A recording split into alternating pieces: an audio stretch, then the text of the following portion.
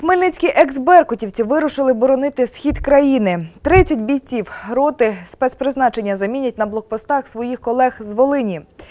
Накази стосовно подальших дій міліціянти отримають на місці, повідомляють у прес-службі управління. Це не перша участь хмельничан в охороні громадського порядку на сході. За тиждень до виборів правоохоронці повернулись з Донецька, де перебували протягом місяця. Частина нашого підрозділу роти спеціального призначення, який функціонує, це колишній Беркут знов на схід країни в Харківську область, де він буде теж виконувати завдання пов'язані з проведенням цих антитерористичних заходів, несення служби по охороні і громадського порядку і участі в інших можливої бойових діях.